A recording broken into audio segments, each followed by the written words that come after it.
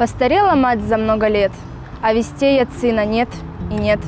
Но она все продолжает ждать, потому что верит, потому что мать. И на что надеется она?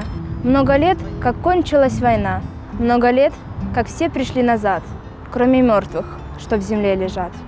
Сколько их в то дальнее село, мальчиков безусых, не пришло. Раз в село прислали по весне фильм документальный о войне. Все пришли в кино, и стар, и мал, кто познал войну и кто не знал. Перед горькой памятью людской разливалась ненависть рекой. Трудно было это вспоминать. Вдруг с экрана сын взглянул на мать.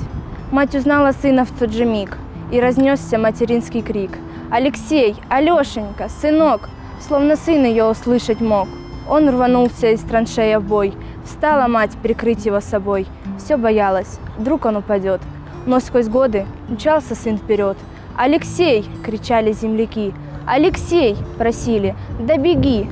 Кадр сменился, сын остался жить. Просит мать о сыне повторить. И в атаку снова он бежит. Жив, здоров, не ранен, не убит.